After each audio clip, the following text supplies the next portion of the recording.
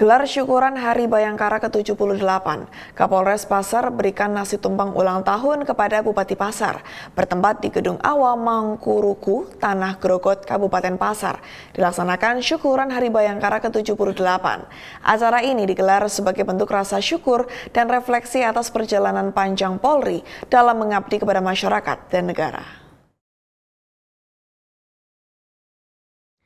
Acara dimulai dengan penampilan drum band TK Kemala Bayangkari Pasar, dilanjutkan dengan pemotongan tumpeng oleh Kapolres Pasar AKBP Yusep Dwi Prastia, didampingi oleh Ketua Bayangkari Cabang Pasar dan diserahkan kepada Bupati Pasar Fahmi Fadli.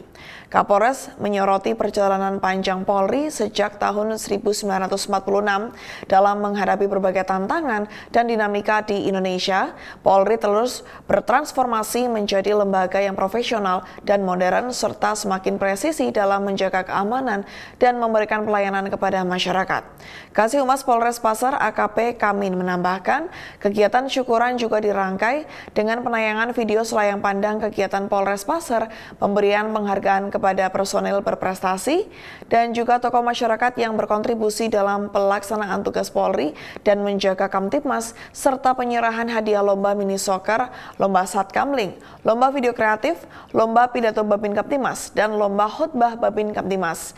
Dan acara diakhiri dengan penampilan tarian daerah, tari Bujang Song dan Bujang Bawe, Ramah Tamah, dan tarian bersama oleh personil Polres Pasar.